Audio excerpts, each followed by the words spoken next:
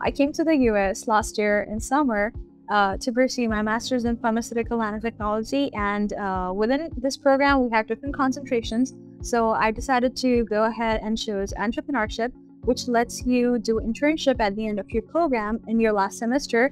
I'm an international student, so it's kind of hard to get an internship on your own. So this program really helped me to set my foot in, into industry and get that exposure and experience that I would need in the future. So my internship was at Lonza, uh, which is a huge pharmaceutical company here in the US, and it's a multinational company basically, and they have headquarters in Switzerland, and they also have an office here at Tampa. I was placed in product development department, which is basically R&D. So I get to implement all of the knowledge that I got from my master's program, and I got to work with a lot of research scientists, uh, analytical team, lab work.